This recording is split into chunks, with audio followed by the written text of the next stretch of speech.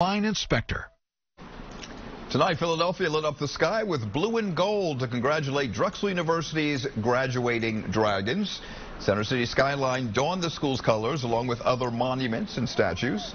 From everyone here at 6 ABC, we wish all of the Drexel graduates the very best. Nice.